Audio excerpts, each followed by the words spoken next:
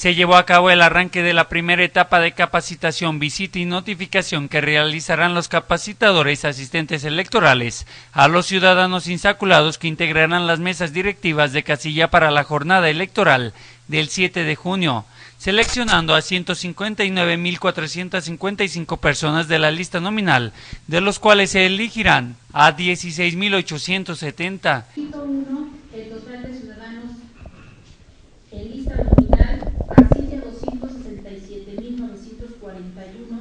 de los insaculados 38.018.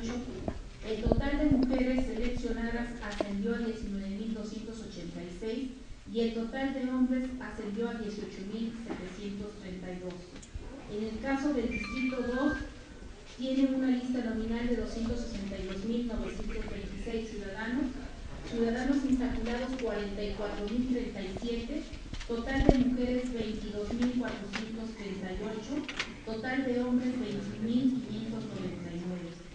Del Distrito 3 cuenta con un listado nominal de 261.868 ciudadanos, insaculados 37.836, mujeres 19.139 y hombres 19.000, perdón, 18.697.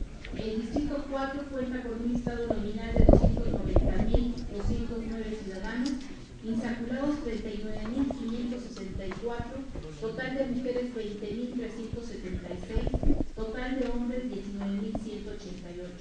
El total de ciudadanos en nuestra lista nominal asciende a 1.082.944, insaculados 159.455, total de mujeres 81.239, total de hombres 78.216.